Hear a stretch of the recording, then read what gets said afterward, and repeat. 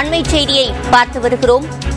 நாடாளுமன்ற தேர்தலில் போட்டியிடுவதற்காக விருப்பமனு அளித்தவர்களிடம் தற்போது திமுகவில் நேர்காணல் தொடங்கி இருக்கிறது இது தொடர்பான கூடுதல் விவரங்களை செய்தியாளர் கோகுலிடம் கேட்கலாம். கோகுல் முழுமையான விவரங்கள்.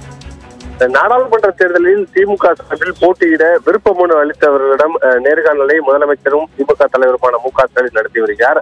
அண்ணா அறிவாலயத்தில் இந்த நேர்காணலானது தற்போது தொடங்கி இருக்கிறது. ஏறக்குறைய இரண்டாயிரத்தி தொள்ளாயிரத்தி எண்பத்தி நான்கு பேர் போட்டியிட விருப்பம் தெரிவித்து விருப்ப மனு அளித்திருந்தார்கள். அவர்களிடம் தனித்தனியாக இந்த நேர்காணலானது நடைபெறுகிறது. இந்த ஒரே நாள்ல நாற்பது தொகுதிகளுக்கும் நேர்காணல் நடைபெறுகிறது. குறிப்பாக இந்த நேர்காணல்ல தூத்துக்குடி தொகுதிக்கு போட்டியிட விருப்ப மனு அளித்திருந்த ஏற்கனவே தூத்துக்குடி நாடாளுமன்ற உறுப்பினராக இருக்கக்கூடிய கனிமொழி தற்போது நேர்காணலில் கலந்து கொள்வதற்காக வந்திருக்கிறார். அதே போல நாடாளுமன்ற உறுப்பினர் வேலூர் தொகுதி நாடாளுமன்ற உறுப்பினர் கதிரானந்த் அதே போல தருமபுரி தொகுதி நாடாளுமன்ற உறுப்பினர் செந்தில்குமார் உள்ளிட்டோரும் அண்ணா அறிவாலயம் வந்திருக்கிறார்கள்.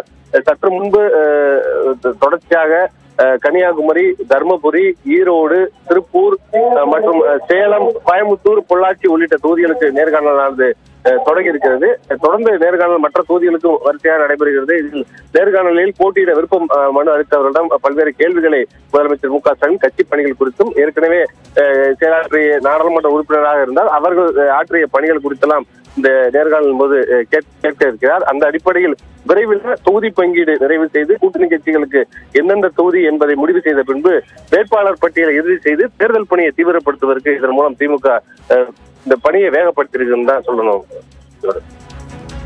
விவரங்களை வழங்கியமைக்கு நன்றி கோகுல்.